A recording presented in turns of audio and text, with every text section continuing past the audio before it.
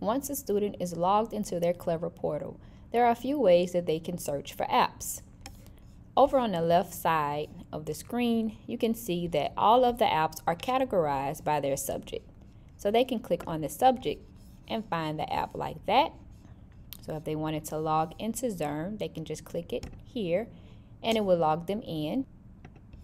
Or they can come up to the top to the search bar. You can click here and begin typing in the name of an app such as DreamBox once they begin typing, all of those resources will come up here that have those letters in it, and they can select their app like that and click on it, and it will log them in to their app.